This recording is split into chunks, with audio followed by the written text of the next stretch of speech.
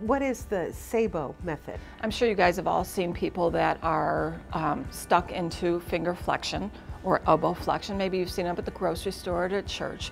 Well, they haven't moved into the second part of stroke recovery, which is where they learn to extend their hand and extend their fingers. The Saebo method, the orthosis, actually helps people learn to extend and to use their fingers. And by using their hand and fingers, their upper extremity starts to work better. Their shoulder and their elbow all starts to be utilized more. We offer both physical therapy and occupational therapy here. We have a physical therapist that is experienced in neurological rehab and orthopedic injuries. What are the products available through Saebo and, and what do you use them for? So the Saebo Flex is the device that helps extend your fingers. The Saebo Reach is used in conjunction with the Saebo Flex and it helps people extend their elbow. So not only are we working on trying to get them to be able to extend their fingers, but we also get them to extend their elbow so that maybe they can reach up to get something out of the closet.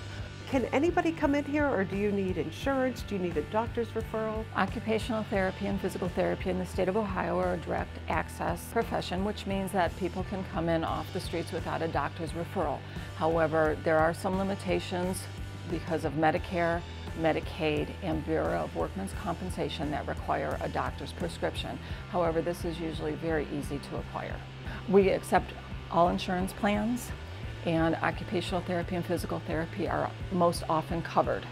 I think one of the things people are concerned about is that they may be in a larger hospital system and their doctor may be in a larger hospital system and they are concerned that they are not allowed to go out of that hospital system for specialty care. And that is not correct. In the state of Ohio, a doctor's order grants you permission to go any place for specialty care. What kind of other services do you offer here? So Saebo is used for anybody that has problems with active extension. That could also be cerebral palsy, that could be spinal cord injuries, that could be muscular dystrophy, any neurological disorder that you cannot extend your fingers. This facility also specializes in hand injuries, for instance, things like carpal tunnel, tennis elbow, Quervain's tendonitis, we have several programs that we're running to support our stroke survivors in the community, as well as a group on Fridays for supporting of young stroke survivors, and just to realize that there are other people out there that are experiencing the same deficits that they are. One of the things that is really amazing is I had a gentleman that was 18 years post-stroke and they came to see me simply to be able to get his fingernails out of his palm because they were having problems getting his fingernails cut.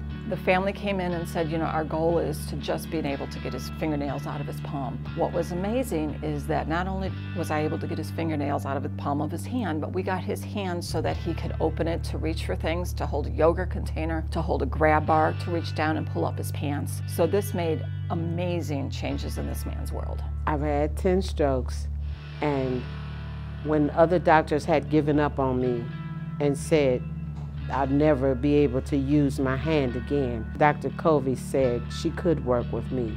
And I thank God for her. Miracles do happen.